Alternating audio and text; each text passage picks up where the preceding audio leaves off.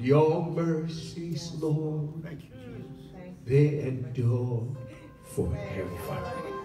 Forever. Who is like unto you, O God? None, none, none, none. None. You alone are God. Majestic, glorious. We worship and honor you today. In the name of the Lord Jesus Christ.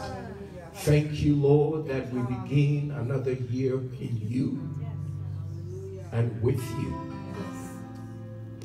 And Lord, we pray that you will lead us on this journey of faith, love, and hope.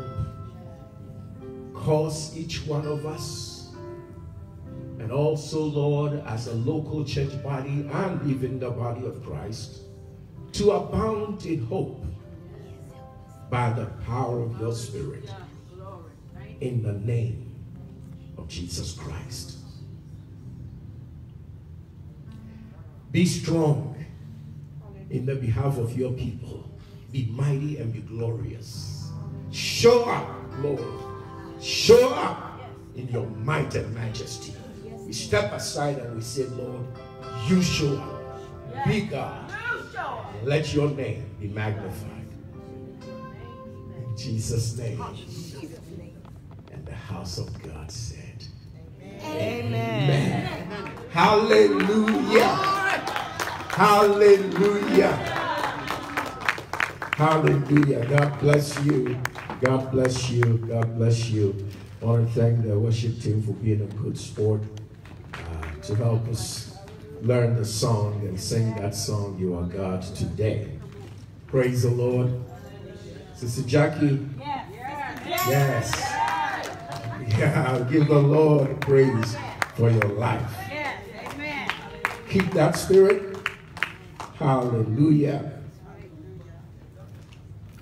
Glory to God. Hallelujah. Thank you, Lord Jesus. The theme that God has given to us for this year is hope. The word is hope. And our theme is abounding in hope. Abounding in hope. The full revelation of it is abounding in hope by the power of the Holy Spirit. Can you say hallelujah? Praise the Lord. And so, this first Sunday of this year, I want to begin with a message on hope. God, our hope. If you turn with me to Psalm 75, excuse me, Psalm 71 and verse 5. Psalm 71 and verse 5. Bless the Lord. Bless the Lord. Isn't God good? Yes. He's good and his mercies endure forever. Thank you, Lord Jesus. So, who's your hope? God is our hope. Glory to Jesus. Psalm 71 and verse 5. For thou art my hope. The psalmist says God is his hope. Who is the hope of the Christian? God. For you are my hope. Psalm 71, verse 5. For thou art my hope, O Lord God. So it's very clear who his hope is the Lord God. Amen. Thou art my trust from my youth. Hallelujah. So, young people, let God be your hope. And the one in whom you trust. Hallelujah. And God proved himself faithful to the psalmist in his youth throughout his lifetime, and he's speaking now at a point in his life where, chronologically, age wise, he's not in his youth. Yes, age wise. Obviously, by the power of the Spirit, he still has the vitality of God in his life. Amen. Amen. But you can see that he's talking about a certain time period. He started from a certain time, now he's at a different time. A different time is not the exact time, same time as the time he began. All right, verse 5 again. For thou art my hope, O Lord God. Thou art my trust from my youth. So I started in my youth, but at this time of speaking, he is not in his youth. The same youth age, chronological age, as when he started. Right? Help me, help me teach this and make it easy for me. Because I know with us charismatics, somebody's already thinking, but I'm in my youth. Meantime, you're 120. When you're 120, you are not in your youth chronologically speaking. Mm-hmm. You are not.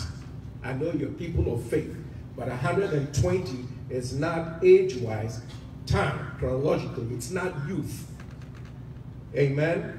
But you have the spirit and the vitality of the Holy Spirit in you, even at 120. And so, in that sense, you have the youthfulness, the zeal, the life of God. Amen. Praise the Lord. So, we have to be people of faith, but we have to also be people of intelligence. Amen. The Bible is a very intelligent book.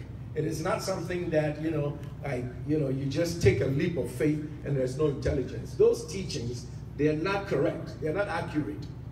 They're not accurate at all.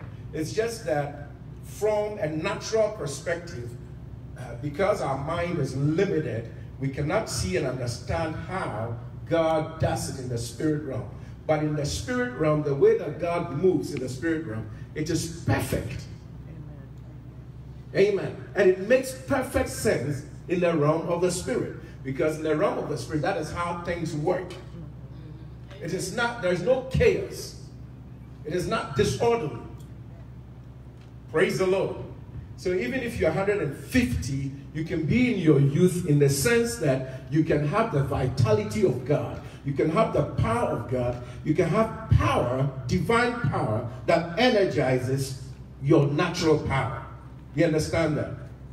The Bible says in the book of Romans, Romans 8, it says that the Spirit of God in us will make alive or quicken us by his indwelling presence, his indwelling spirit. Let me just take you there and show you that scripture.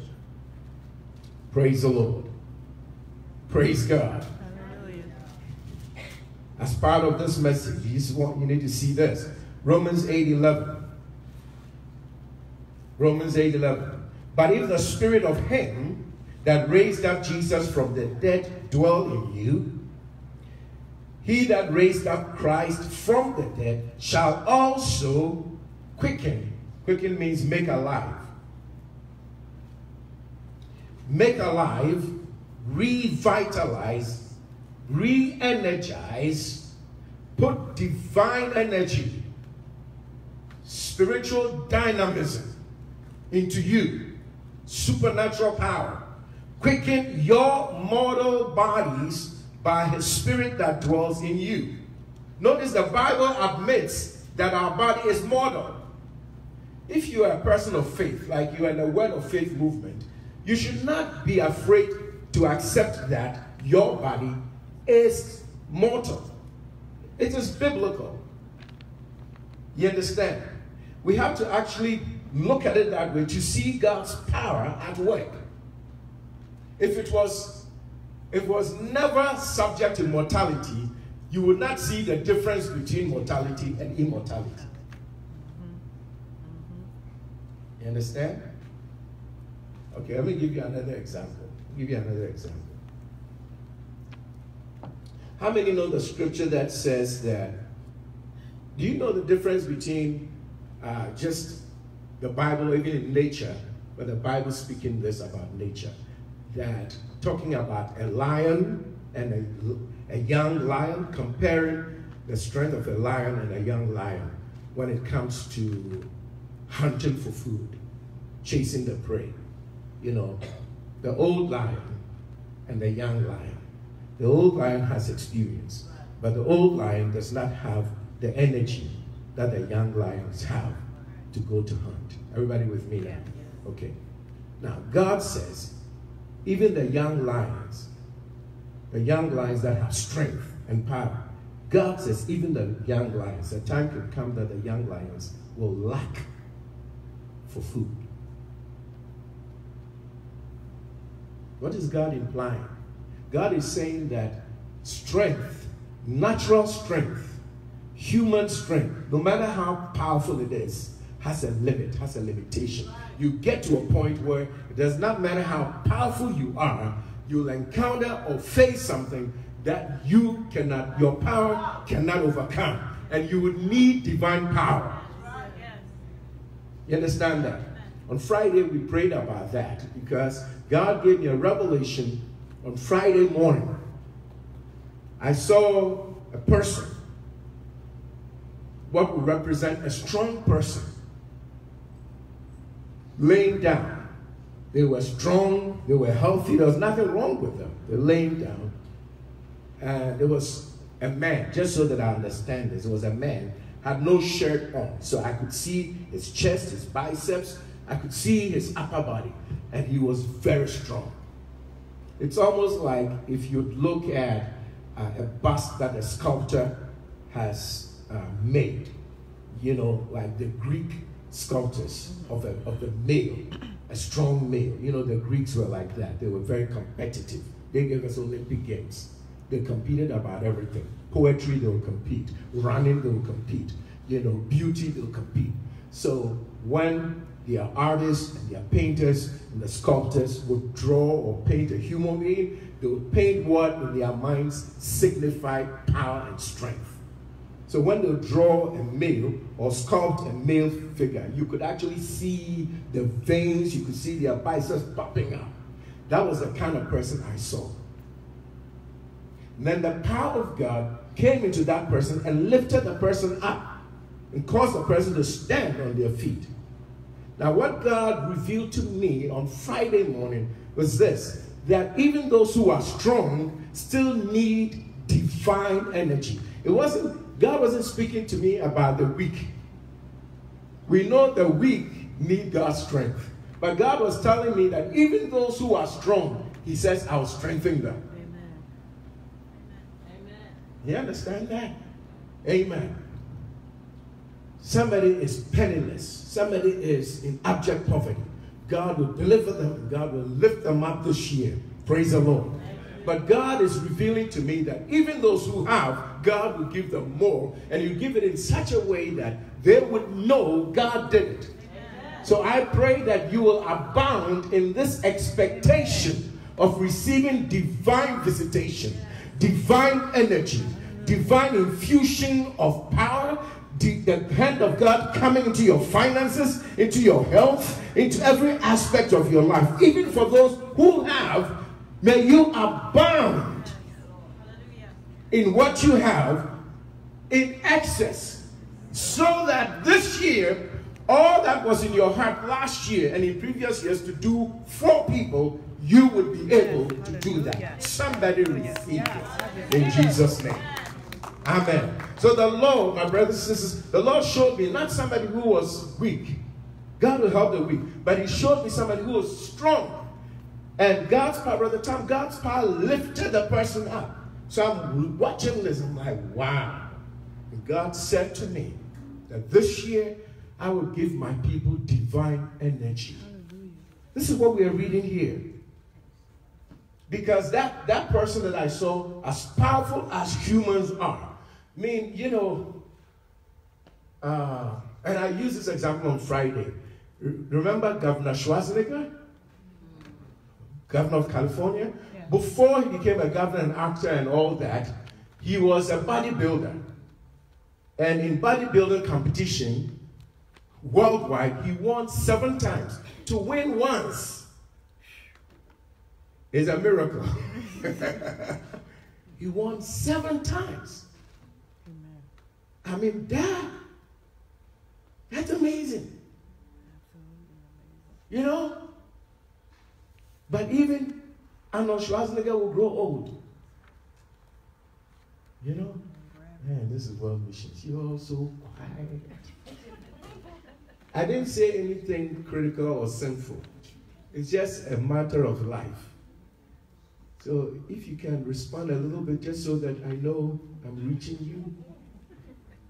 Even, even the young who grow, right? Amen. This is not a curse. Amen.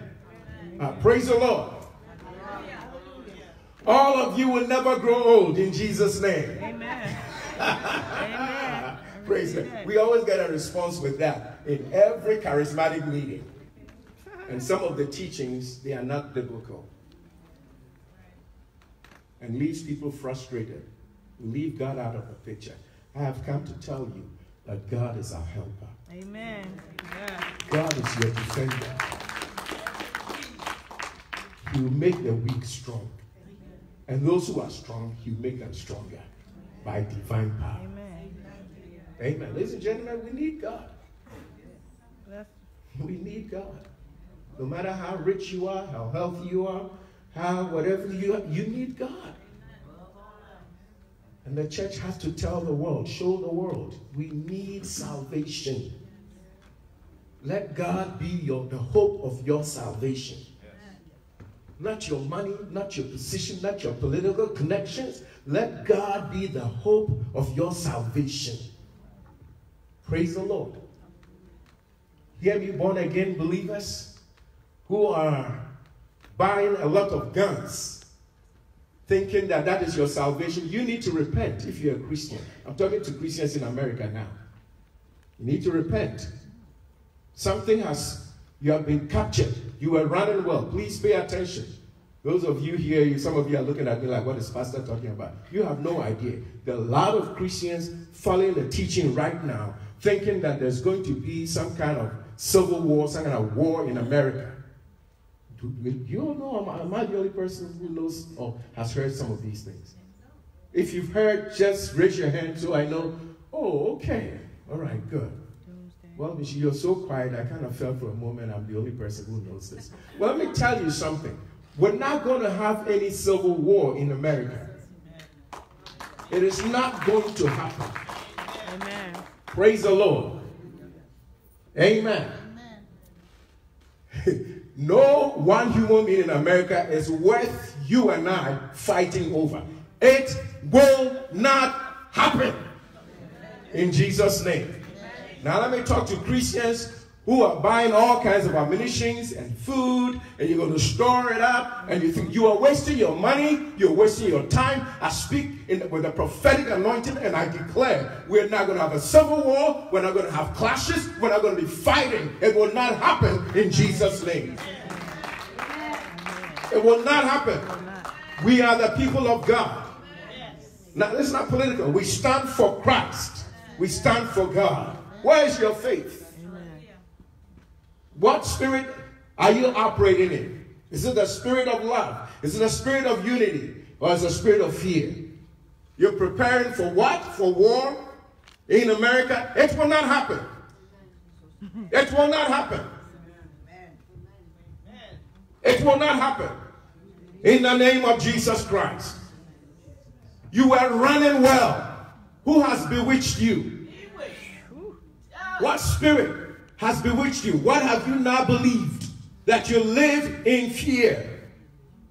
And don't start, don't even start to tell me I don't know what I'm talking about. I know in whom I have believed. Yes, yes. The Bible says in the last days, those who know their God shall be strong yes. and they shall do exploits. It's time to live for the kingdom of God, Christians. Not live for Democratic or Republican party or any party. Live for God. Amen. It's about God. The United States of America does not belong to Republicans. The United States of America does not belong to Democrats. It does not. It is you have you call it united. The name itself starts with the word united. Mm-hmm. Praise God. So the spirit of the name will vomit any one party that tries to take over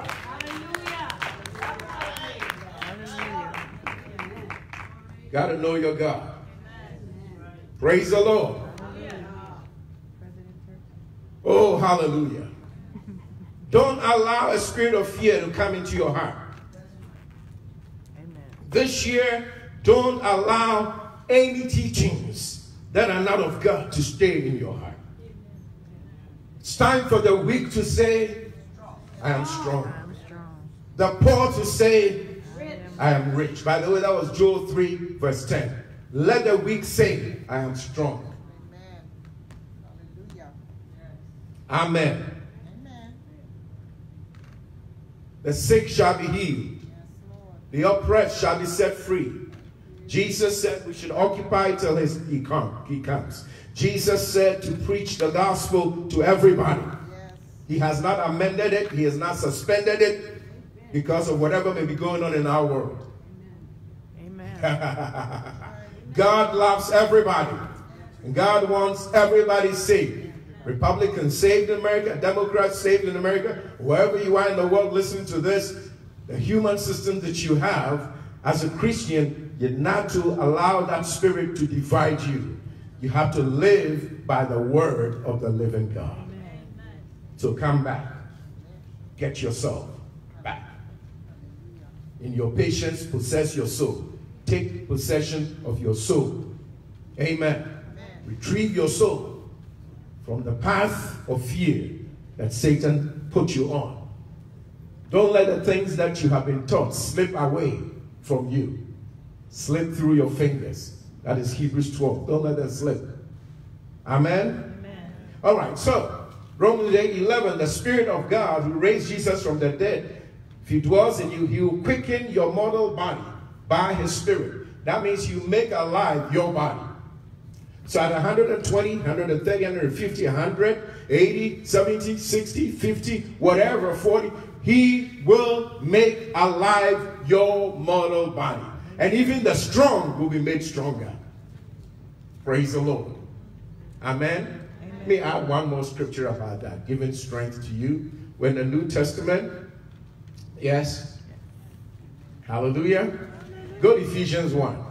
Just flow the Holy Spirit a little bit here about, about power. Ephesians 1, please.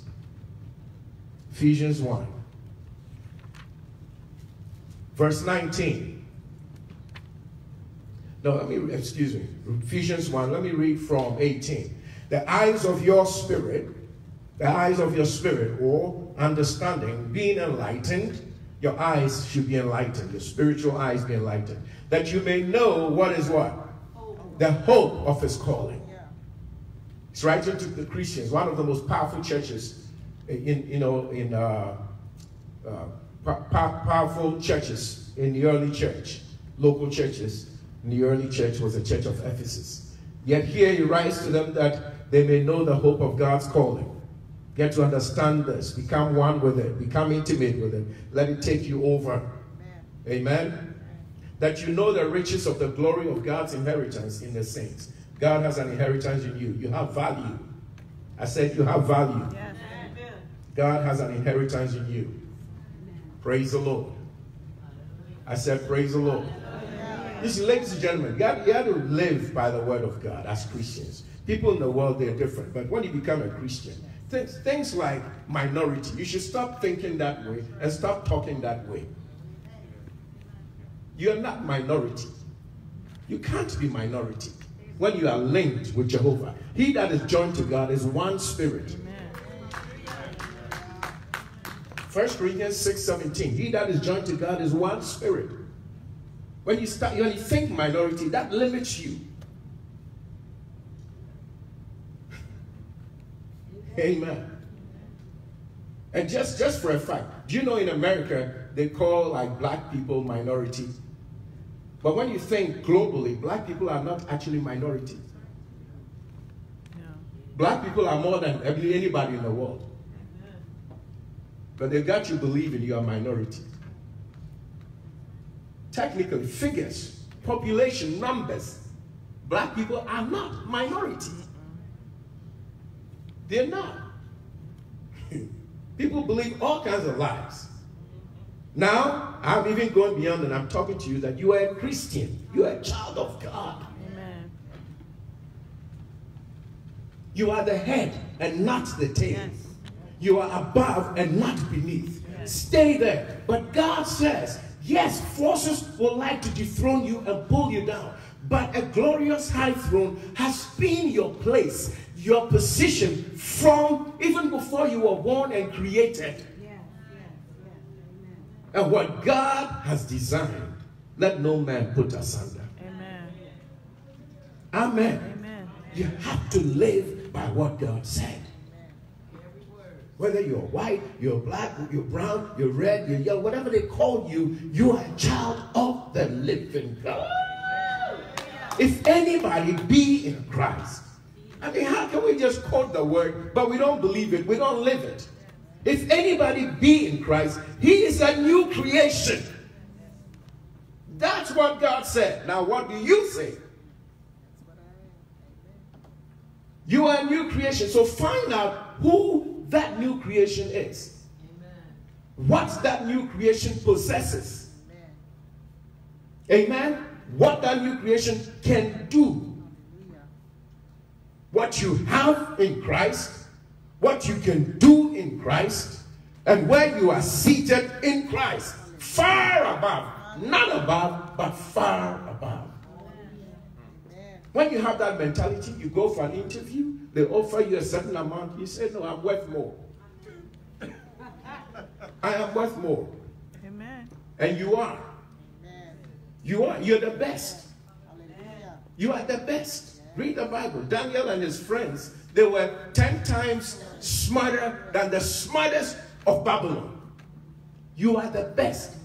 You have the spirit of wisdom, the spirit of knowledge, the spirit of understanding. Listen, the revelation of God and supernatural understanding is a lot higher than natural understanding. And in the spirit realm, the things of God make perfect sense in the spirit realm. If we were operating on that level with that intelligence, it will make sense to us. But because we are operating on the, in the natural and not in the spiritual, the things of God are hidden from us. By the Holy Spirit, the Bible says the Holy Spirit will reveal to Christians the things of God, things that eyes have not seen, ears have not heard, hearts have not perceived. God will reveal these things to us.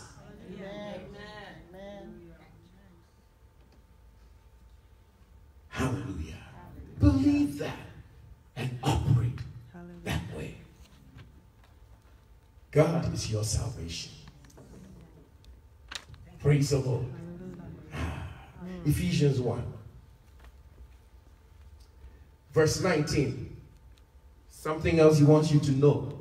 Know what? The exceeding, my God, exceeding greatness of his power.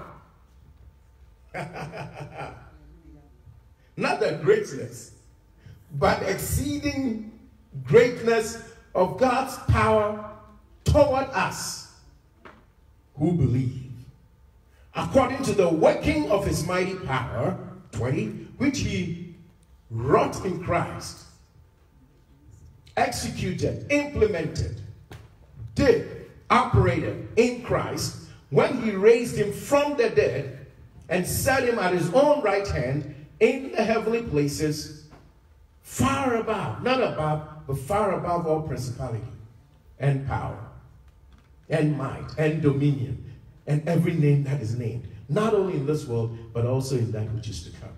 But you're going to have some false pastors, false prophets tell you you have generational spirits, ancestral curses, and you can't go over, uh, you know, you cannot excel in life because you have family idols. There are thrones in your family, and they bamboozle you and deceive you with all these high sounding things, which are actually all wrong.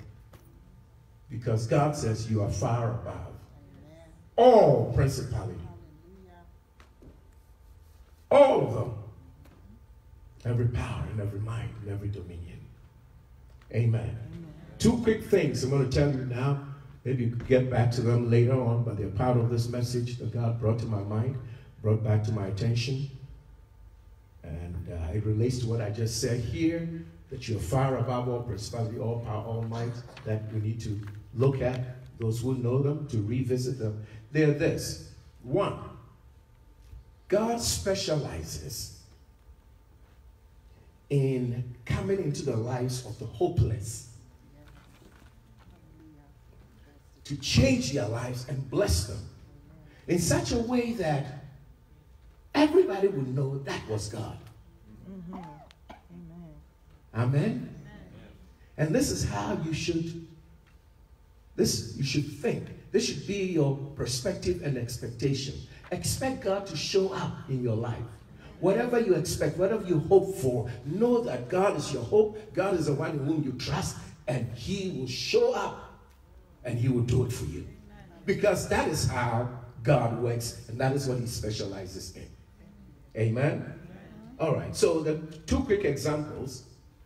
One is Abraham. When God called Abraham, everybody paid attention to this. When God called Abraham, God called him from idolatry. Joshua 24. Joshua 24. And I believe verse 3. Give me verse 3. Let's see. If it's not verse 3, it's verse 2. I know if Inshira is watching, she's going to type on my Facebook page, Dad, you missed the reference. so let me get it right.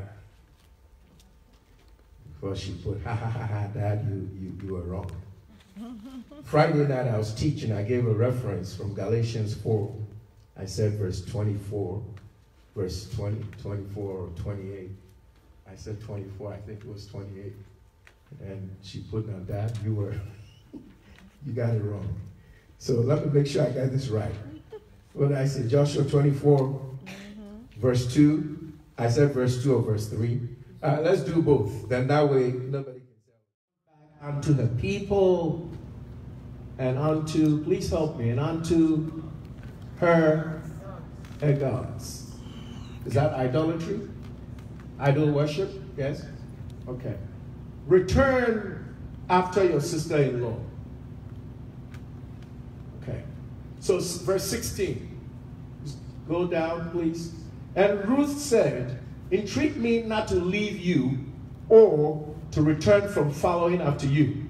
For where you go, I will go. Everybody with me? Yes. Okay.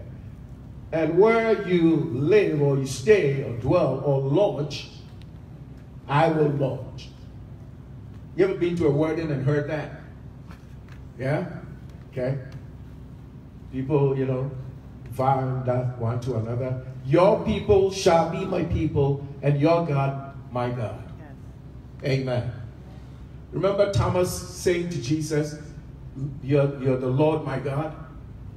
Right? When Jesus showed him his hands. Mm-hmm. Thomas, disciple, mm-hmm. New Testament Thomas, yes? The same thing this lady is saying here. Your people shall be my people, and your God, my God. Yes? So would you say that at this point, she's making a confession of faith in Jehovah, yes. in the Lord God of the Israelites? Yes. Amen. Could we then bring that confession of faith in God into the New Testament where we find in Romans 10, 9, and 10, with our hearts we believe, with our mouth we confess that Jesus Christ is Lord. Is it fair to say that that is what she was doing? Amen? Amen. All right. So, Ruth says, I'm not going to return to idolatry. I will follow Jesus. I will follow God. Mm-hmm. That was the Old Testament. New Testament would be I follow who? Jesus Christ. Mm-hmm. Okay. So she makes a confession of faith. Please notice that her background was a background of idolatry, idol worship. Amen. Same as Joshua 24, we saw in verses 2 and 3, was it? Yes. All right.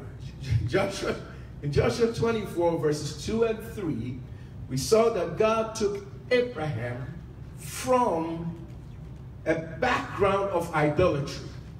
So, what I'm teaching you from the Bible, God's Word, to Christians is this. From today, never believe me or any bishop, archbishop. It doesn't matter what our titles are. If we tell you that you have idolatry in your background, so you cannot prosper or your career, you know, you can't rise high or your marriage will not succeed or whatever, don't believe us. Don't be impressed by our titles and our charisma and our personalities. Be impressed by God's word. Please. Amen. Please. Please. What, what, what would it take for you to be free from fear? Ladies and gentlemen, people have church meetings, they write books, they do CDs, they have devotionals on generational curses. It is not biblical. It does not exist anymore under the new covenant. It doesn't exist. Amen. Yes. God is the one who said, I will cut it out and I will not give you the opportunity to say that some of this problem is because of a generational curse. God said it. And pastors, we defy God and tell people they cannot be free because of this, because of that. Today I'm telling you, God is your hope. Amen. God is your trust. And God specializes in visit, visiting people who have all kinds of issues. You think you are messed up? God says, I love you. Now watch me come into your life to save you. Amen. You will change your history and you begin to establish new landmarks in your family. Drug addiction is over. Your family will be known as a family full of professors, full of ministers of God, full of lovers and not haters. In Jesus' name it will come to pass. Your family will be known as a wealthy family that sponsors whole children in yes. cities to go to college. I yes. declare it in Jesus' name. It. Let it come to pass. Amen. Please give us Joshua 24 and verse 3 again. Can I flow? Yeah. All right, so let's go. Joshua 24, verse 3. Let's leave Ruth and go to Joshua 24, verse 3. Media, wake up. Thank you. Praise God. Joshua 24, verse 3. Verse 3. Just, just verse 3. So it's bold. Please. I, I beg of you, I plead with you. I know sometimes I'm a little too, because I'm going and I want you to come. So sounds like I'm being harsh, but forgive me. Let's go. Joshua 24 3. And I took your father Abraham from the other side of the flood. That is where they worship idols. And I led him throughout all the land of Canaan. And I multiplied his seed and gave him Isaac. Out of idolatry, God called Abraham. And God multiplied him. I stand to declare that God will multiply you this year. Amen. God will increase you in Jesus' name. And he said, I gave him Isaac. Praise God. Now let's go to Galatians 4. Let me show you your generational blessing. This time, I will not let my baby girl tell me I was wrong. So, Galatians 4, the last part he said, I gave him who? Isaac. Isaac. Everybody, that's important. I gave him Isaac. Isaac. Now, Galatians 4, verse 28.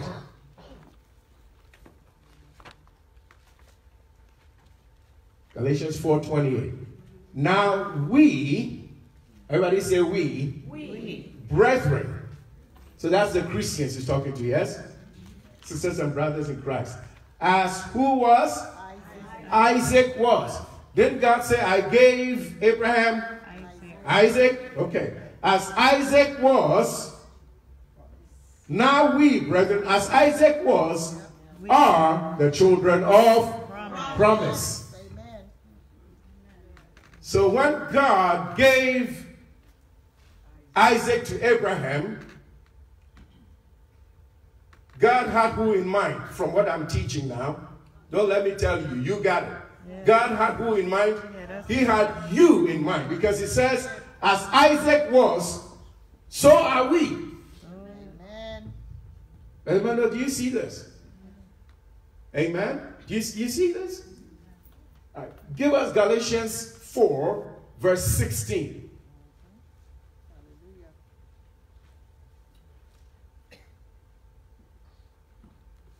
Ah, okay, sorry. I'm wrong. Go, go to Galatians 3 16. Galatians 3 16. Now to Abraham and his seed were the promises made. He said not, and to seeds as of many, but as of one, and to thy seed, which is Christ. Praise the Lord. All right, I'm going to need two gentlemen to come to represent Abraham and the seed. Please, any two at all who don't mind coming up. Uh, all right. Okay. No, I, will need, uh, thank you for being gracious, but I need a gentleman. I need, just because uh, he's referring to males, but I appreciate you. Praise God. Amen. Because she saw that even the gentlemen were not moving. uh, thank you, Jesus. Okay. So, God said to Abraham, you just represent Abraham and to Abraham's seed. So when God spoke to Abraham, God had Abraham in mind and who else in mind? No, no. Let's just stay with the scripture. Okay. Now to Abraham and his seed were the promises made. So to how many people is God making the promises? Was it to Abraham only? No. No. To Abraham and his seed. So let's say that this brother is Abraham, mm-hmm. and this brother is the seed. Fair enough? Yep. We're good? Yes. Okay. He did not say seeds. So God wasn't talking about more than one, seeds, plural. He explains it as of many. If he says seeds, there's more than one. But as of one, if he says seed, and to thy seed. That's just one. And that seed is who? Christ. Christ. So the day God called Abraham from Ur of the Chaldeans, Babylon, you know, mm-hmm. have you ever had problem in your family? Do you know any family that has like horrible things? According to what I'm teaching you from God's word, you were a candidate for God's divine visitation. Mm-hmm. Amen. That's what you have to believe. Not that you are cursed. Not what put you into that mess. Not, not all that. But look to where God is taking you. Amen. That is what will bring the change. That's how we change families, ladies and gentlemen. That is how we change communities. I know there are problems. In America, I'm telling you, if America has problems, you have no idea what other people in the world suffer. You know, I have lived here all my adult life, and my light has never gone off. I mean, light, uh, electricity. The water has never gone off. There are some places, millions of people have no electricity. Oh, water, thank you. We support a young man who left New York. She, he is all over Africa and different places that don't have water to give them good, clean water. Amen. And that's what he's devoted his life to do. He's not even born again. And loving, spirit of love. God's calling us, ladies and gentlemen, to rise up. Let God be your hope. Amen. No matter what you're going through this year, I saw the power of God coming to somebody who was strong. God said, I'll make you stronger. Amen. receive it. We need divine power. We need God. Amen. So God spoke to Abraham and Abraham's seed. Amen. Uh, if you can stay right here for a moment for me. Please give us Galatians 4, verse 29. Galatians 4, verse 29.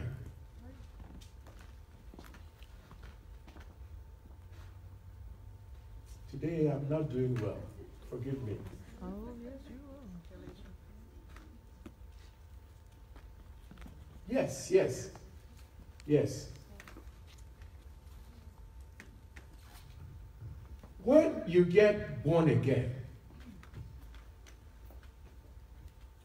the enemy will fight everything that God wants to do in your life.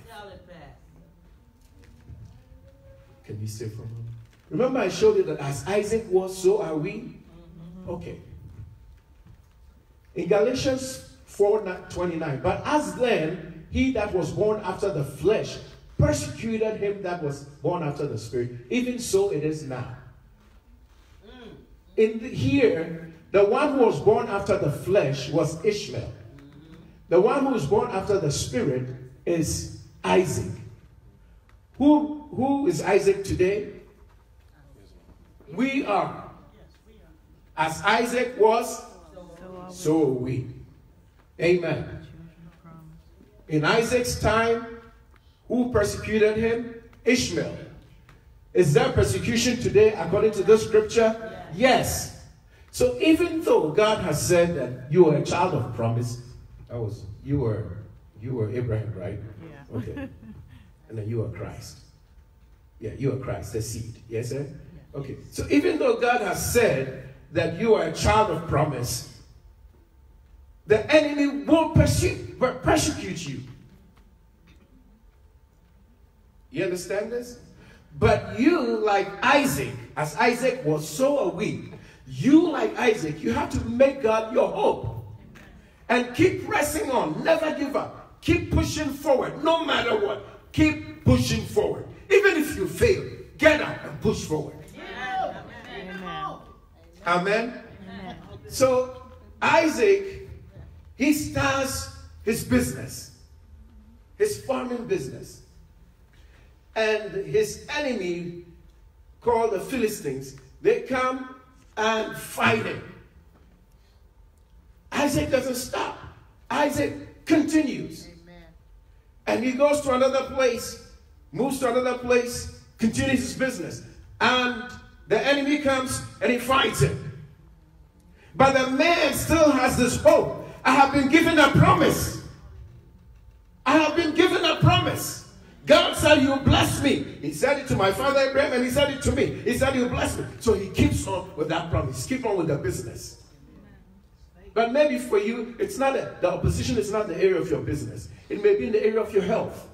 It may be in the area of your marriage. It may be, I don't know, but it doesn't matter what. Keep moving forward. So Isaac moves again. And he gets to this place where the Philistines trouble him no more. And Isaac and his servants who work in his field, they said, Oh, we have come to a good place, a large place. God has enlarged us. I'm going to push you guys a little bit. God has made room for us. Amen. We'll call this place Rehoboth. Amen. You know Rehoboth, Maryland? That's where the name came from. Amen. One day, I, I'll pray that uh, uh, Reverend Janice will preach to us about freedom. Is it freedom, Pennsylvania? Or, or new, new freedom? New? Is it new freedom?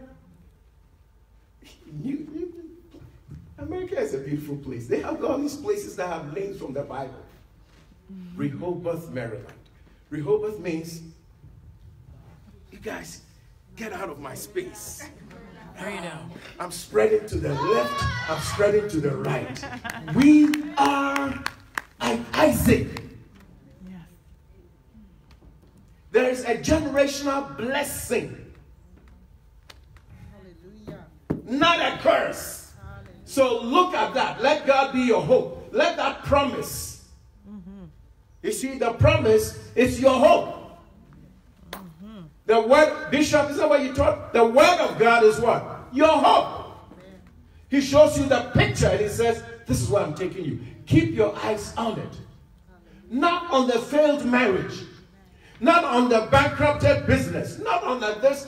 And people will always take you back. Well, you were like this. You were. People will do that. People always want to talk about what you failed, what you did wrong, what you. You keep your eyes on God. Amen.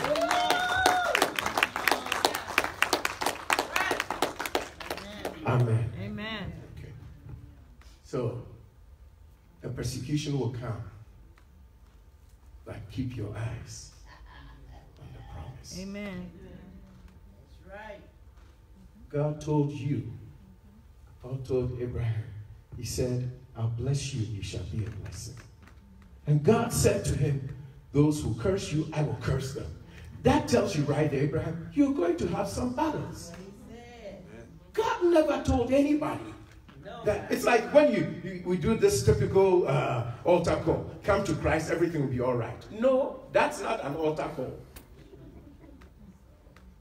come to christ your sins will be washed away that is altar call you receive jesus as your savior and you become born again but don't tell somebody that everything you know you never have a problem how are they going to get a miracle if there's never a problem you have a testimony if there's never a test That's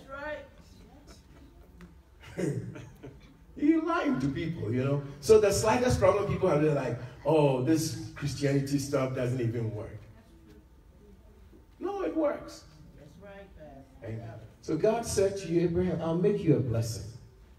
Amen. And I will bless those who bless you, but I'll curse those who curse you. And when God said that to you, God was saying that to your, your seed, to your children. Amen. That seed is Christ.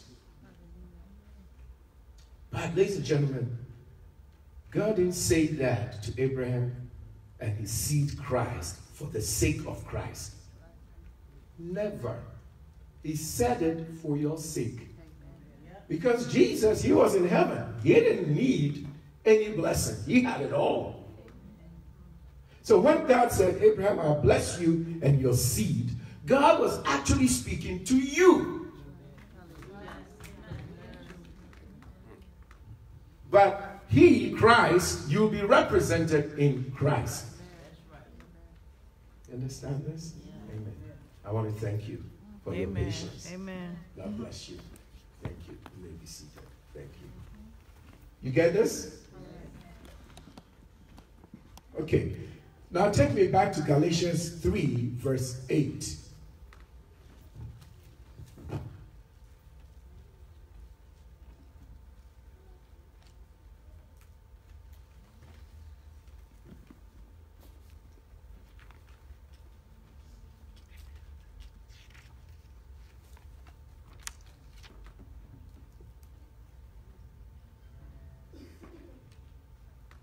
Galatians 3, verse 8. And the scripture, foreseeing that God would justify the heathen through faith, God will justify the heathen. I want you to note the word heathen. Heathen or Gentiles. People are not born again. The Bible is very interesting, very fascinating. And I want to make this point to you, which has not been emphasized to us. But I'm going to say it in such a way that initially when you hear it, you might think, what's Pastor saying? All right? Then I explain myself. Listen, the gospel was actually written for Gentiles. It was written for us. It was written for us. The New Testament, we Gentiles are the focus of the New Testament. All right. I said that's where you go. What's Pastor saying? Are the Jews excluded? No. The Jews have always had God. The Israelites had God. We didn't have him. Mm-hmm. So God wrote something to include us. You and I get it. That's what I mean. Amen. They, they were already cool. They had him. You and I were like Ruth. Excluded. Were like Abraham was before he got his call. We followed idolatry. And our lives were messed up. You understand? Amen. Mm-hmm. So when God wrote the gospel, he was thinking more about us than about the Jews. The point I'm making is that they, they always had him. Right. We didn't. So God was saying, I'm going to include you. Do you get it now? Right. So after today's teaching, when you're studying the Old Testament, look for pictures where God begins to draw, include the heathen, the Gentiles. Yes. Are you seeing that? Yeah. But the thing is that because the Old Testament was all about the Israelites, and it was just here and there that we were sprinkled in, they didn't, the Israelites did not see it. They didn't catch on it, onto it, because majority of it was about them. So here and there, when God just sprinkled something in about us, they didn't take note of it. Then comes the New Testament, which is the unfolding, the expanding of those little sprinklings that he put in the Old Testament about the heathen. Look at the scripture again. Look at this. And the scripture foreseeing that God would justify the who? Heathen. He didn't say foreseeing that God would justify the Jews. I rest my case. Amen. Do you see what the Bible is doing? God would justify the heathen. He. Didn't say God would justify the Jews. Come on now. I'm not saying that the Jews did not need justification. They had God. They feel like they felt like we're cool. We got it made. God was actually telling them, you also have to come to me through Yeshua HaMashiach. Amen. But these people who are out, out of the covenant, out of the promises, they were not part of the covenants of Israel, of the promises. They are also mine. That's. Amen. That's why in John 10 he said, Other sheep I have, which are not of this fold, them also I will bring, and they shall be one fold and one shepherd. The Mormons, uh, Latter day Saints, uh, Church of Jesus Christ of Latter day Saints, so whatever they call the Mormons, they messed up over there. Then John 10, where it says, Other sheep I have, the Mormons say that that other sheep is them. No, that other sheep this is not Utah. Utah? Utah, America? No. Utah? Okay. Yeah, you sound like Inshira. When I talk, she says, Daddy, they say this way. Ah, okay. So I thought that's what I said. but when you said it, it sounds different. it sounds, I think it's good. Okay. All right. So I won't mention the state, but where the Mormons are? That place? Okay. In John 10, Jesus said, Other sheep I have, which are not of this fold, this Jewish fold, but I'm going to bring them. The other sheep refer to the Gentiles. We are all God's people. We are the sheep of his pasture. Amen.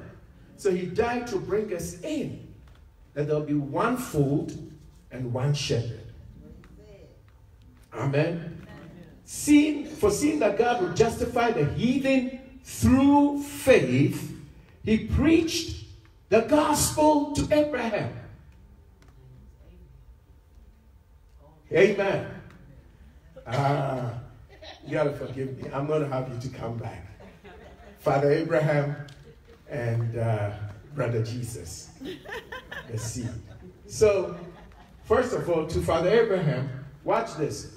It says, God preached the gospel to Abraham, saying, everybody follow. God preached the gospel to Abraham, saying, In you shall all nations be blessed. So according to Galatians 3 8, what is the gospel? According to Galatians 3 8, God preached the gospel to Abraham, saying, saying what? The gospel. So what's the gospel? According to Galatians 3 8, Indeed. in you Shall all nations shall all nations be blessed. be blessed. Hallelujah. That's the gospel. Thank you. I like- that, that's it. That's it. That's what he said. Even if we don't understand it, that is still what he said. You see, this is how you have to treat the Bible to understand it. Start from what, what he said. What he say? Then, through what he said, run through the thread of scripture from what he said, and let the scripture explain what he said.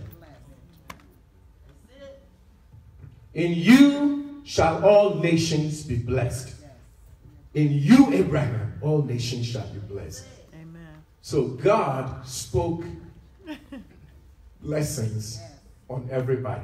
Amen. And the blessings were supposed to start from who? Abraham. Abraham. Amen. You get this? Yes. Then God gave Abraham a son of promise called Isaac. Isaac. So that means the blessing continued in Isaac. It still said, In you shall all nations be blessed. So when it came to Isaac, it was the same thing.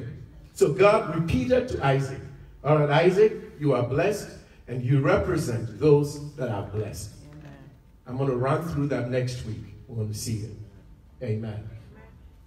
All right. Then Isaac had Jacob and Esau.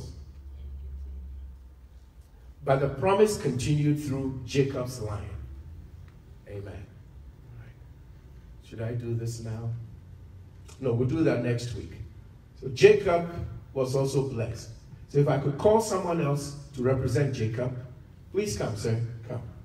Jacob. I'm not going to turn to the scriptures. We'll do that next week, but come. Amen. Come like you're Jacob. Hallelujah. All right. Praise God. And you see how blessed he is? He looks all golden and all. All right. So the blessing continued in Jacob. Amen. We'll look at that next week. Run through the scriptures. It's a God deliberately, each to each person, he kept saying it, right. kept repeating it. In you shall all nations be blessed. Amen. Amen.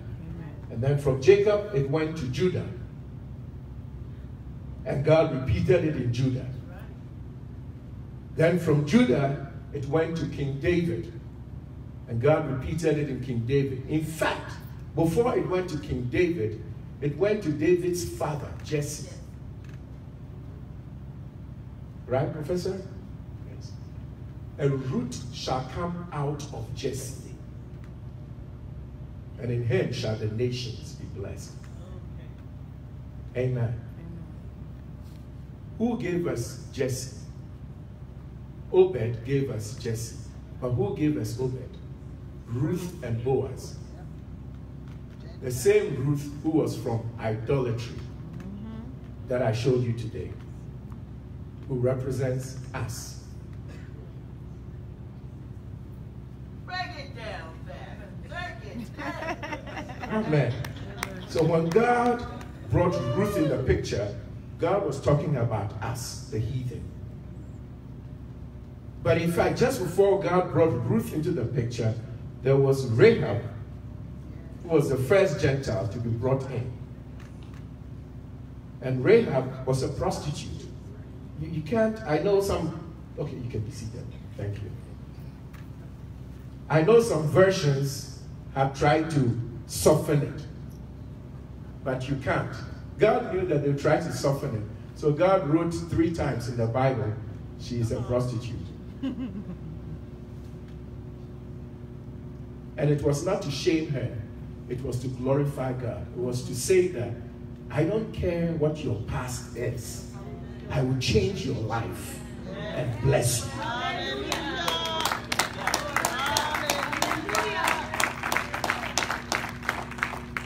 In James chapter 2, the Bible says Rahab the harlot. I think maybe verse 25 it was, James 2.25. The Bible called her Rahab the harlot or the prostitute.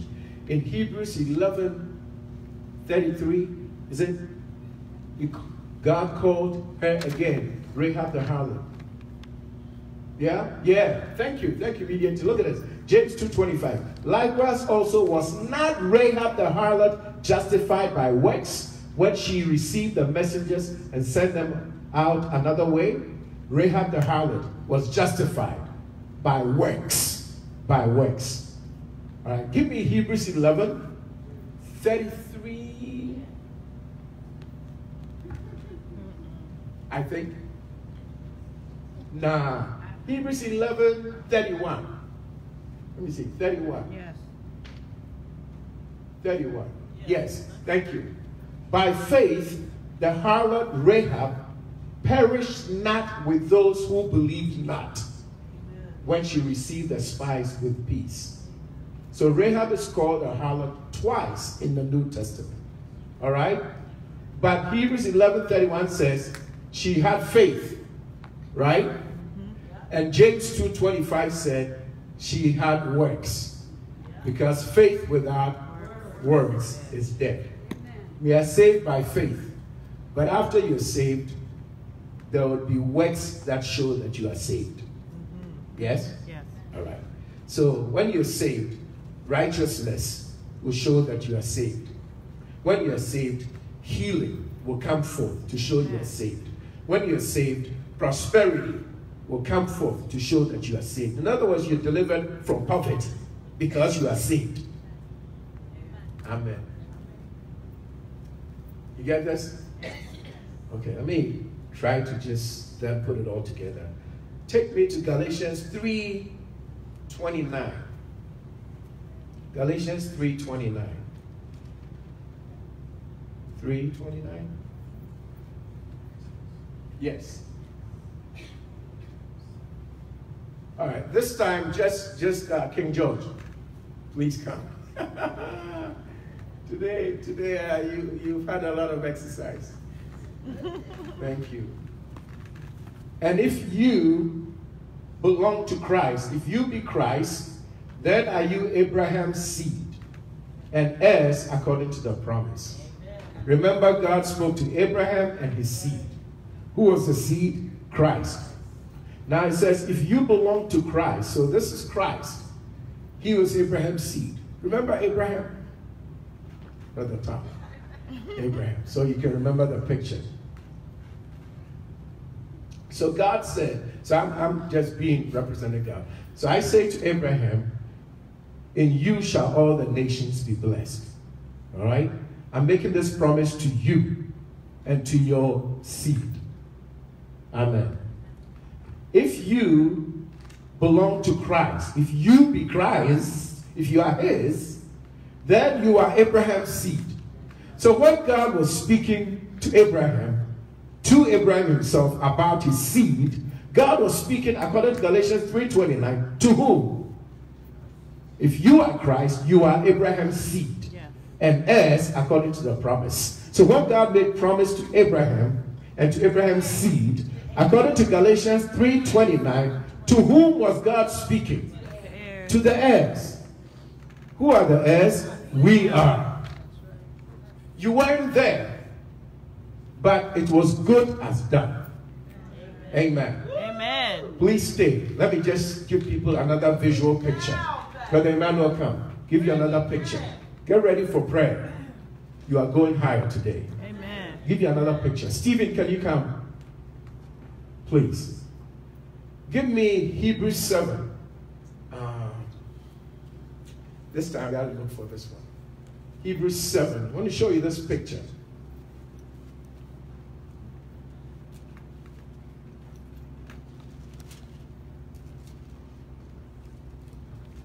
Hebrews 7. Hmm. Verse 9 and verse 10. Hebrews 7, verse 9.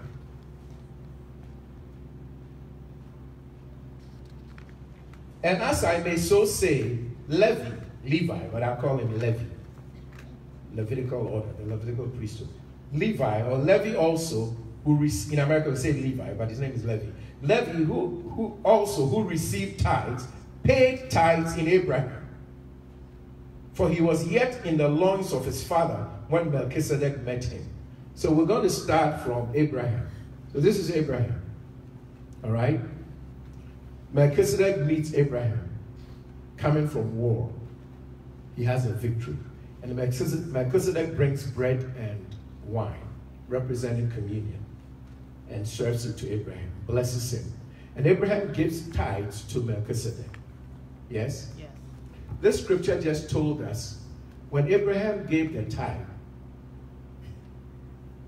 Levi had paid the tithe. All right? But Abraham had a son called Isaac. You got to come closer. So Abraham had a son called Isaac. Then Isaac had a son called Jacob. Yes? Jacob had 12 sons and a daughter. The son who was the priest, the head of the priest was Levi. The day Abraham paid tithes, according to Hebrews, God says that Levi paid the tithes, though he, had- he was not yet born. He was inside Abraham. Look at God. Look at God. How far down God sees the generations of World Missions Ministries people Amen. who are listening to this word and receiving it. Yes. That God said, Abraham, Tom's generation, if you get it, I already see your fourth generation blessed. Yes, Yes. Lord. Hallelujah.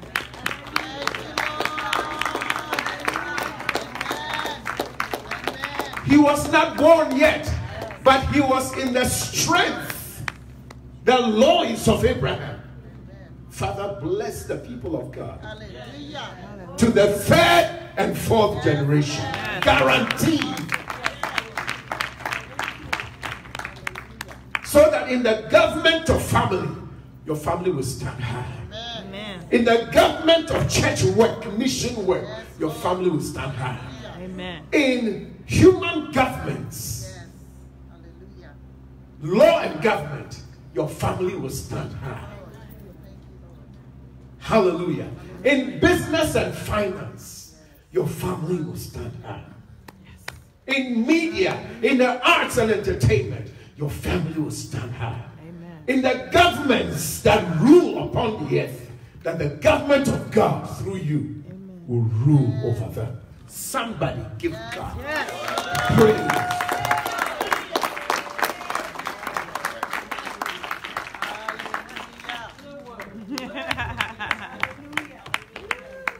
God bless you. Amen.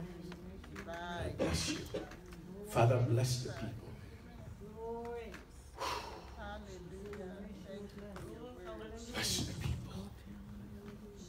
Bless the people as they make you their hope today.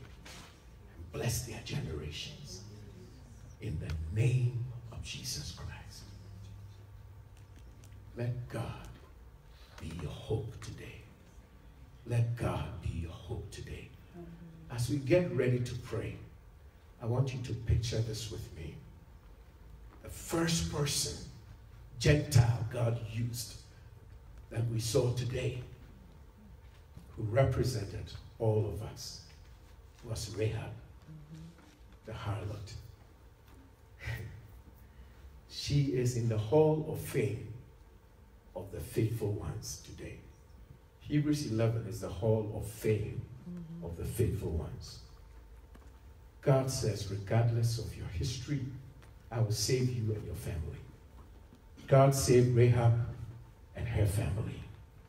Can you see new landmarks established for you and your family? Receive it today. In the name of Jesus Christ. Receive it today. In the name of Jesus.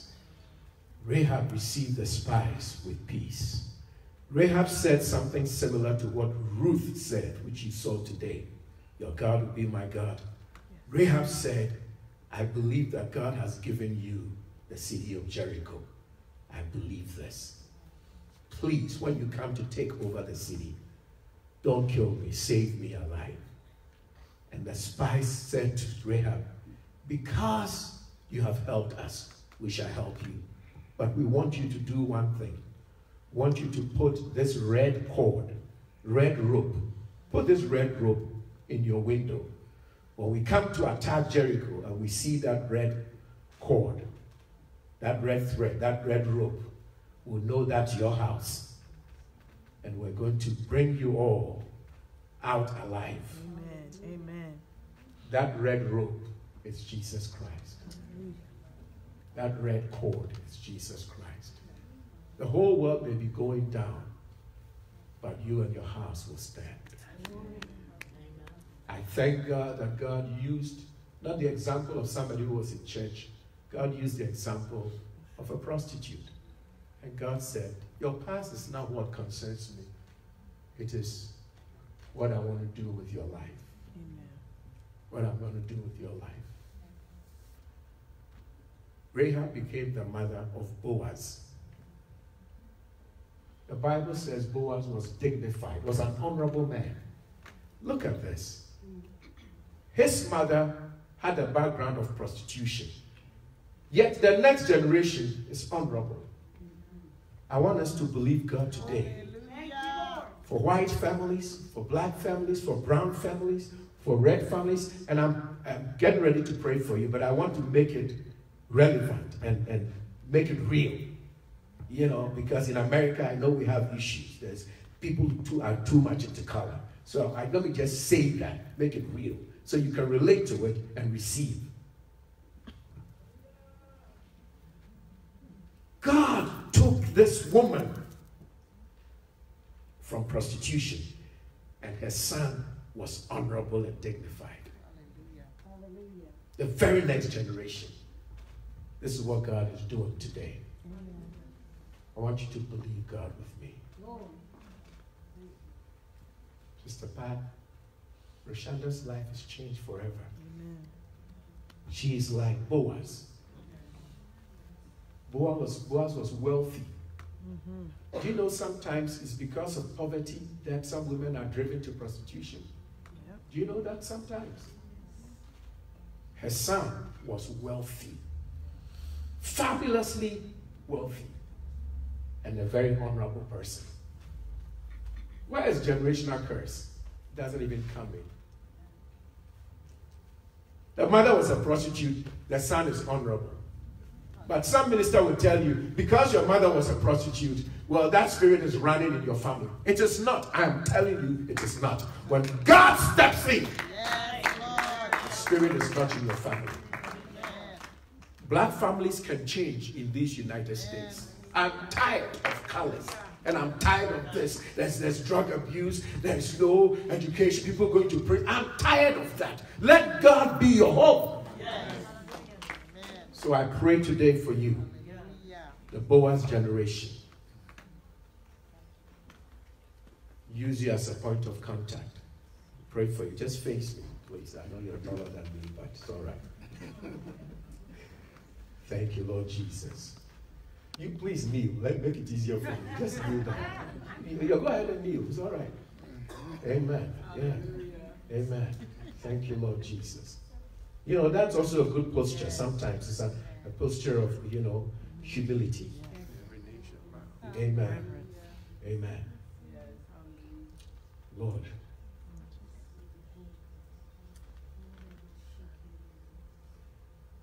You saw Levi when Abraham paid tithes. I pray that your eyes will be on the youth in our generation as I use Stephen as a point of contact in prayer for them, Stephen himself and for the youth.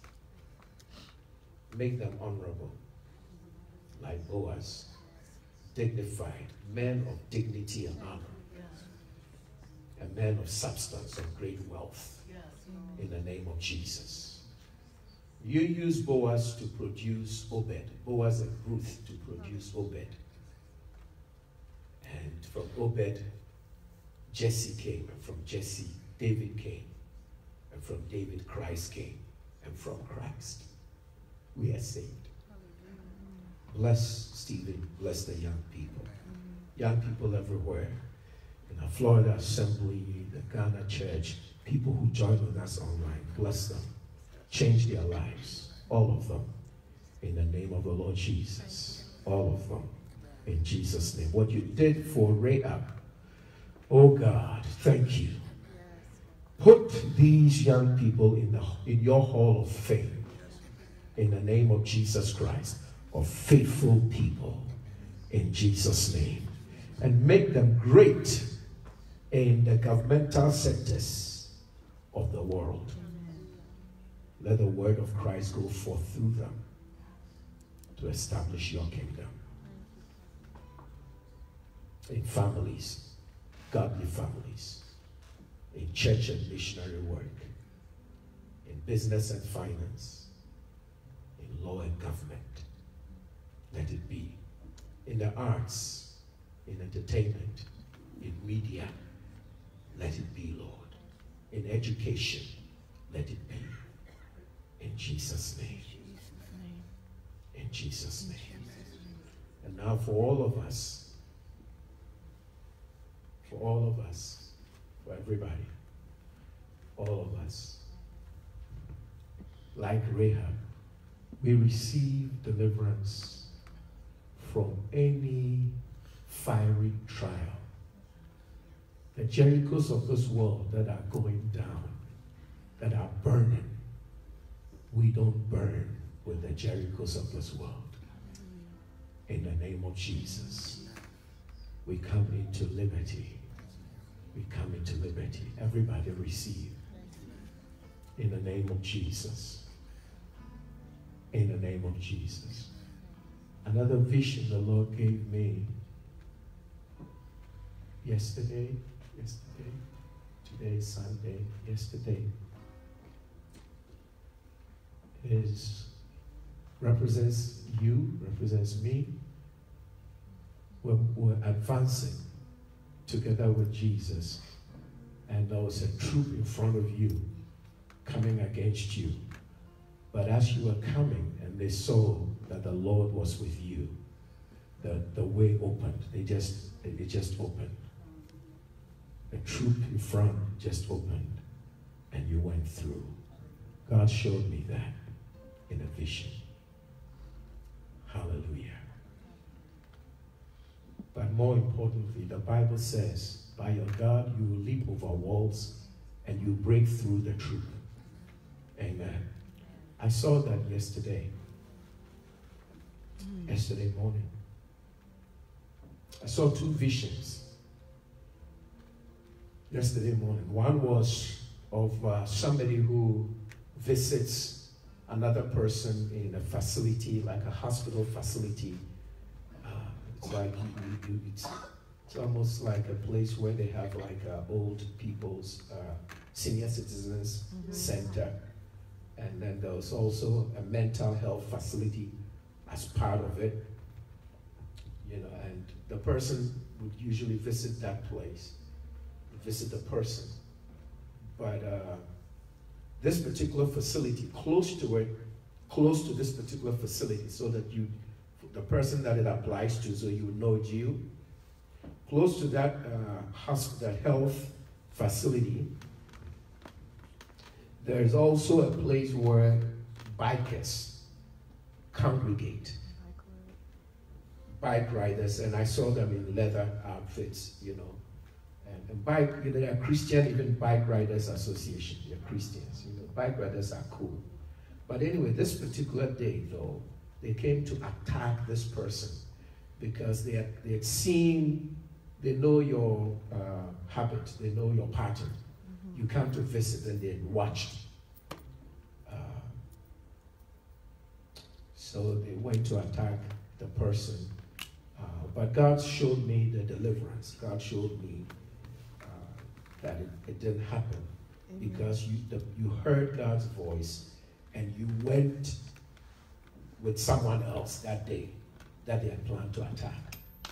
So when they saw that you were not alone, they couldn't attack you. Now, that particular facility, the parking area closest to the mental health part is where you usually park because there are not a lot of cars there. And you just have this idea that people open their cars and it hits your car, mm. your car, the body of your car. So you like parking where there are not a lot of cars.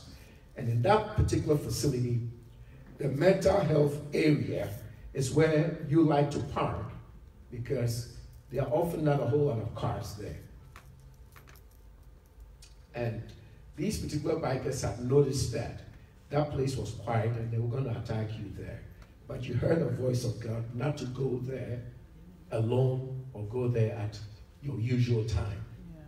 Uh, and so what they planned did not happen. God showed me that yesterday. And the other vision he showed me was uh, the body of Christ going through the truth that was gathered before you. So, whatever you are faced with right now, you have already gone through. Amen. Amen. You've already gone through. Amen. Let it be your expectation that what you want, you will get. you will get. Hallelujah. So I just want you, if I can, uh, if you will bear with me before I pray the final prayer, just uh, symbolically, just do it the way that is comfortable for you. I don't want to put you under any stress or anything, but how it's comfortable for you. You know, just act like, you know, you are holding a rope, the cord that represents Jesus based on Rahab so that I can pray. We can pray together. Please. Uh, that cord that Rahab put in the window, it was the same cord that she put there previously for the spies to climb down out of her house and run away from the soldiers who were had been sent to attack them. Are you guys okay? You good? All right. And that same cord that the soldiers used to escape. You see, they held onto the rope, went down the window, they escaped. It's the same cord that Rahab put in the window that was the cord of her deliverance. It represents Jesus. So let Jesus be your hope. It, it doesn't make sense to you? It's the cord. So let, let's say that somebody is uh, like drowning and you know, the rescue squad bring in a cord or something, then they tell him, hold on to this, and we'll pull you. All right. That cord, that's Jesus to bring you salvation. Amen. You see, sometimes there's flood there's some places burning, and somebody's there by themselves, surrounded by fire, and they bring a chopper and they bring a rope or something and tell them, hold on to it, and we'll pull you out. All right. That's your salvation. So, however it's comfortable for you, just before we pray, just act like you're holding on to the rope, Jesus, the cord. All right? Just your own way. I don't want to make you feel like just your own way, but let's act it out. Hold on to a cord, Jesus. The spies held onto the cord, they went down and they ran away, they escaped, they were saved. That was the cord that Rahab held on to for salvation for her and her house. Lord, thank you. We believe in our hearts. We believe in our hearts. And by faith, we act it out. Rahab received by faith and was justified by faith, according to Hebrews 11. James 2 says, justified by works also. So, Lord, now we, we add our faith to our works and we hold on to the rope of salvation. Jesus, you are our hope. Hope. I thank you, Lord, that everybody comes out of any burning situation, any fiery situation, they are saved, they are delivered. Thank you.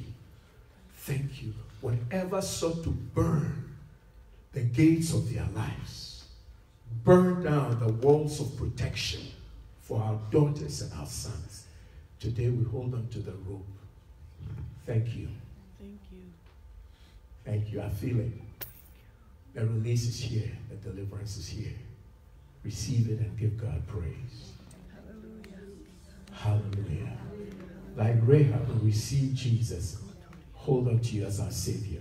Like Ruth, reject whatever idolatry, whatever sin, we hold on to God. You are our hope. In Jesus' name. Reject the wrong teachings. We reject generational curses and we hold on to generational blessings. Forget the things behind. We press on to what you have for us. Thank you. I receive my health. I receive vigor. I receive vitality. I receive the blessing. Whatever it is, please confess and declare it with me. In Jesus' name. In Jesus' name. You say it, I receive it. Everybody, just praying. Thank God for it. Salvation, healing, deliverance, victory. I receive it. I receive it. I receive it. In the name of Jesus, shall we pray and receive it? Mandosi kratoze. Mayan delebretozaya. In the name of Jesus, receive it. Receive it. In the name of Jesus. I receive Christ as Lord. I receive Christ as deliverer. I receive Christ as my prosperer. The Lord is my shepherd. I shall never lack or want this year. I receive that in Jesus' name. In Jesus' name. I receive that in the name of Jesus. In the name of Jesus. Oh, one more vision. God showed me this one this morning. One more. Thank you, Lord Jesus. Um,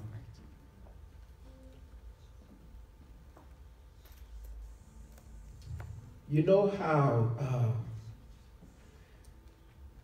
you ever seen on TV when they try to explain or show us uh, like brain and brain connections? You know, uh, I saw. Have you seen a mushroom? One mushroom? Okay. But I saw like a lot of, like what looked like a lot of mushrooms, right? A lot of them. And so you have a base, and then you have coming out, you have it shooting out to all these, just shooting out. So if you can imagine, like broccoli, the stalk of broccoli, you know, so you hold like the stem, but then it shoots out. Okay, so imagine a lot of it, right? a lot of it. And the power of God hit it and just came, mm. just came alive like that. God is healing minds, brains. Amen. Thank you. Praise the Lord. God's healing people's brains. Amen. The brain itself. Amen. And energizing you, giving you life. It might be some person needs that touch. Amen. Receive that for yourself. But for all of us, let's receive it. You know, Ephesians 1, the power that raised Jesus from the dead, quicken every part of you. Romans 8, 11, we saw it earlier. Make your mortal body strong. Amen. So God quicken your memory. Uh, I mean, I, I don't know really, but everything with the brain, whatever. Let's just receive it. Praise God. So I will not be forgetful. Uh, if it's studying, I'll be smart. I'll be the head. You know, God quicken me. You understand? So I just I just told you the vision, but we're gonna pray, and whatever God needs to do for anybody, we say, Lord, do it. Thank you. If it's God driving out forgetfulness, let Him do it. Um, you understand? Yes. There are some brain diseases. You won't have the brain diseases. I don't know what they are called. It's not my field. I'm a pastor, and I'm just sharing you with you spiritually what I saw. But whatever these things are in the natural, whatever they are called, may the Lord take care of them. Thank you, Father. In Jesus' name, the Lord take care of them. Make you sharp in your mind. Hallelujah. Make you sharp in your mind. Praise God. When you're in business meetings, may you be quick to catch on things, you know, so nobody deceives you. Maybe you're a singer, you put on an album, but you're at a meeting and they want to put, pull the wool over your eyes. Yeah. May you, you know, be quick. I don't know, but Lord, do it. Father, thank you for what you showed me, those stems. I get brain stems and all the connections. Whatever it is that people need, we receive by faith the salvation, healing from forgetfulness, uh, disorders of the brain, the whatever, in the name of Jesus. Dementia, you said dementia? All right, in Jesus' name, thank you. Praise God. Thank you for healing from dementia. Somebody give me a Alzheimer's. Thank you in the name of Jesus. Healing from Alzheimer's. Schizophrenia. People help me. Schizophrenia. Thank you for healing from schizophrenia. Praise God. Thank you. Thank you, Lord Jesus. So you're getting this. Good. Bipolar. Bipolar. Bipolar. Thank you. Thank you, Lord. Hallelujah. Somebody said depression. Anxiety. In the name of Jesus. Somebody said anxiety. Thank you. Thank you. Thank you. Now I feel better. Hallelujah. Fear. Fear. In the name of Jesus, we are free. In Jesus' name. Attention Somebody deficit. said Failure. In the name of Jesus Christ. ADHD. ADHD. AD. HD. ADHD. Yes. What's that one too? Attention deficit. Wow. Attention deficit. What's the H hyper something? Yes. Oh wow. Lord, thank you. What, whatever they are, Lord, we receive deliverance. Receive We pray for people who need that. Yes. HD, ADHD. ADHD. Thank you for delivering people from that. Children, young people have that. Children, thank you for delivering them. Autism, in Jesus' name. Mental retardation, thank you, Father, in the name of Jesus. Thank you, Father, in Jesus' name. Brain aneurysms, thank you, in Jesus' name. Ladies and gentlemen, I saw a lot of them. You know, I saw a lot of them. Like you see a lot of broccoli, but a lot. Hypertension. So all these things, hyper, Hypertension. hypertension, he said, thank you, Father, in Jesus' name. Schizophrenia, thank you, Father, in Jesus' name. Lord, I thank you. I thank you. Thank you. Father, I thank you for my brothers who are here standing with me. We stand in agreement. In Jesus' name, I thank you for the church flowing with the Holy Spirit right now. Hold somebody's hand. In the name of Jesus, thank you, Father. I join with the pastors and the ministers, and we pray for the congregation. We pray for the people of God.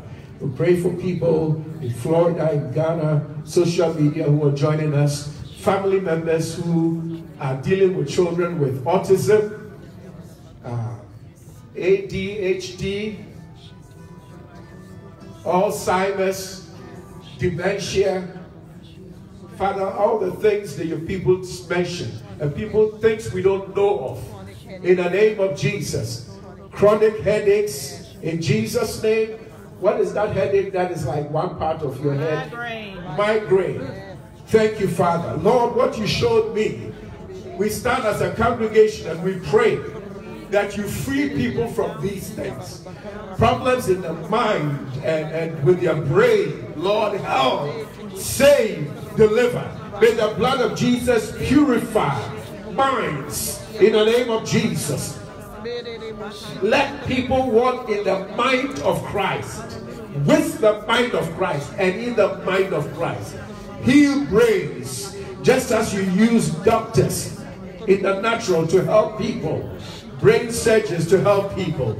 We know that supernaturally your power is even greater. So we pray today in Jesus' mighty name for deliverance from head trauma. Yes, head trauma. Maybe from an accident. We ask, Lord, for deliverance, for healing in Jesus' name. Fear, failure, depression, all kinds of problems with the brain and the head and the mind. Lord, we give you praise today. In Jesus' name. In Jesus' name. In Jesus' name. In Jesus' name. In Jesus' name.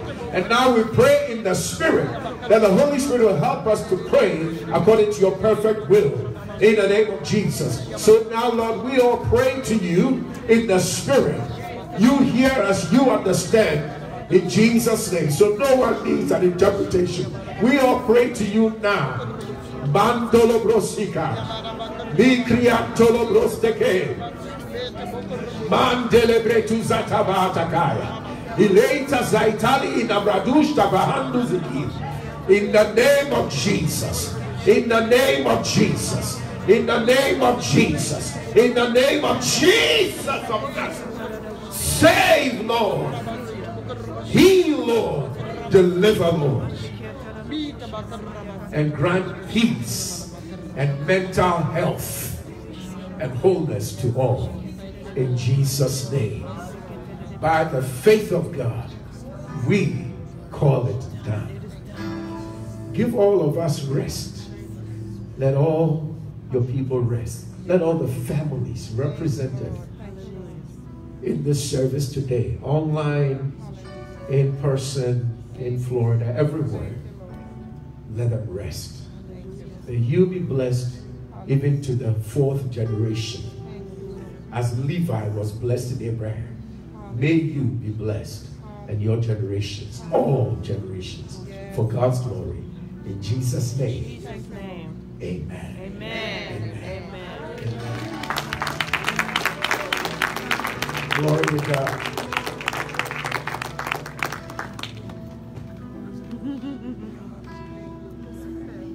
God's good. Thank you. Amen.